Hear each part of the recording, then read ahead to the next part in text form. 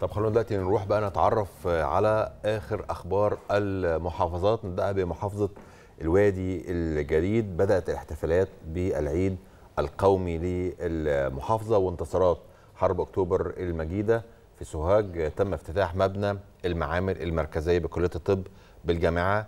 تكلفت 70 مليون جنيه. كمان في المنيا تم افتتاح مستشفيات حميات وصدر ملاوي نهاية أكتوبر ضمن مبادرة بداية. كمان الإسكندرية هتطلق المسابقة السنوية لمتحف السادات الأحد القادم. تفاصيل وأخبار أكتر من محافظات أخرى هنعرفها مع حضراتكم في سياق هذا التقرير.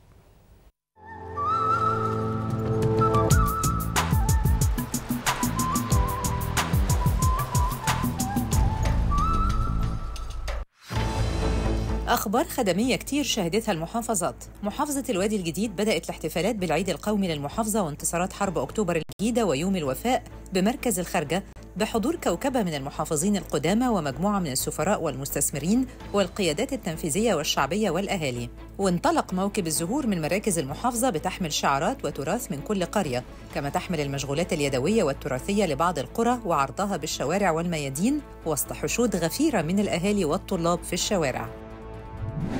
افتتحت جامعة سوهاج مبنى المعامل المركزية الخاص بالعلوم الطبية الأساسية لطلاب كلية الطب البشري مع بدء العملية التعليمية والدراسية بأقسامه المختلفة وبيأتي إنشاء هذا المبنى وتجهيزه في إطار حرص الجامعة على تقديم التعليم الجامعي لطلاب كلية الطب بجودة عالية بحسب المعايير والاعتماد الأكاديمي المحلي والإقليمي والدولي.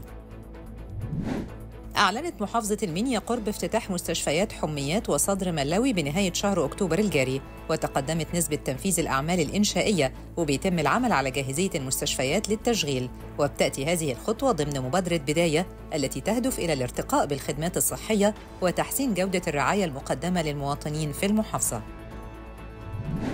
بتنظم مكتبة الإسكندرية المسابقة السنوية 2024 لمتحف السادات التابع لقطاع التواصل الثقافي بمناسبة الذكرى الواحدة والخمسين لحرب أكتوبر المجيدة وده يوم الحد المقبل من الساعة 11 صباحاً حتى 2 ظهراً بقاعة المتحف بالمبنى الرئيسي للمكتبة.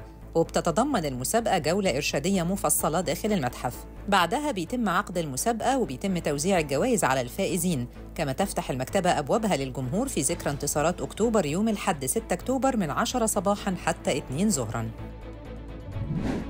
دشنت مديرية الصحة بالشرقية حملة لتوعية طلاب المدارس والعاملين بها عن وحدات إذابة الجلطات الدماغية بمستشفيات الصحة بمحافظة الشرقية نظراً لأن الجلطة الدماغية بتعد ثالث سبب عالمي في حالات الوفاة والسبب الأول عالمياً للشلل في الوقت الحالي.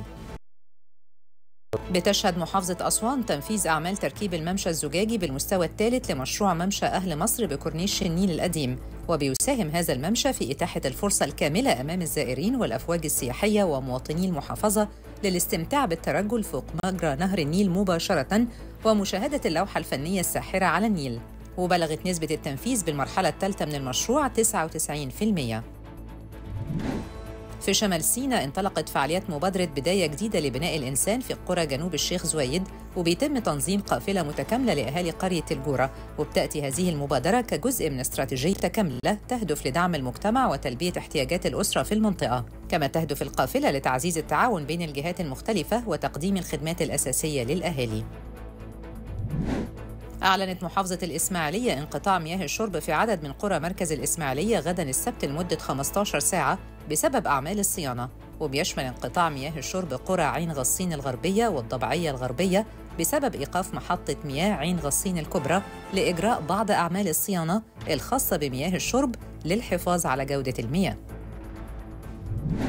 شهدت محافظة قنا تنفيذ جهود الأجهزة المعنية بتنفيذ الأنشطة الخاصة بالمبادرة الرئاسية بداية جديدة لبناء الإنسان بمركز قوس. وشاركت مديرية الصحة والسكان بعدد من القوافل الطبية استفاد منها 3897 مواطن.